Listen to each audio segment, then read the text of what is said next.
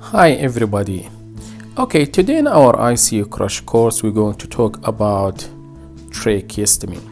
Tracheostomy is something that you must know about if you're going to work in ICU or if you're going to do an ICU rotation whether as a resident or as a hospitalist. So we're going to focus on the part that matter for us as hospitalist or internal medicine residents.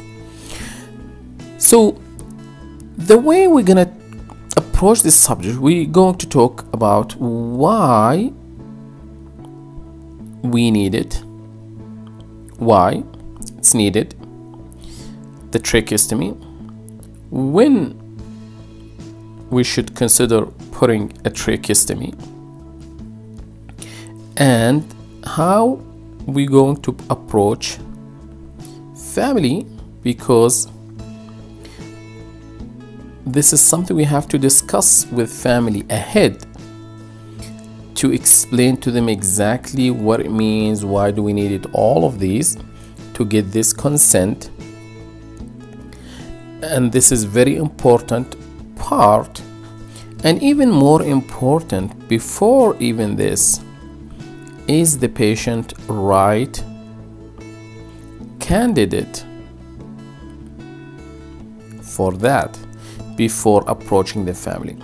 Then we're going to talk a little bit about the techniques, the, the, the, the tubes, the, the tracheostomy tubes themselves, and then the possible complications, general care. Again, all of these from our perspective, not from surgical perspective. Plenty of issues with the tracheostomy when they happen, or actually most issues, we need to contact whoever placed them and let them know and handle the complication if possible. So these are the topics, main things that we're going to talk about. But first of all, just in case you know, this is the tracheostomy. You know, in IC we have intubated patients on mechanical ventilation right where they have the ET tube coming through their mouth into the trachea right?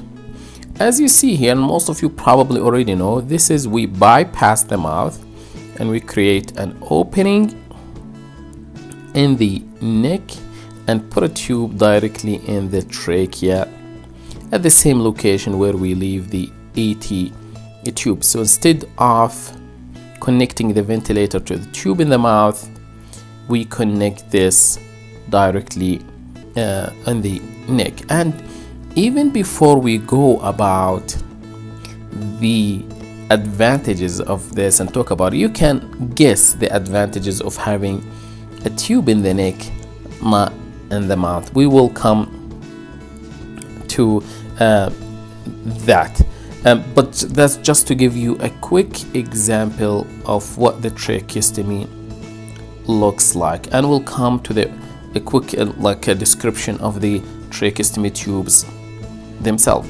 Thanks for watching this video. Please subscribe to our channel and activate the notification bell so you get to see the videos as soon as they are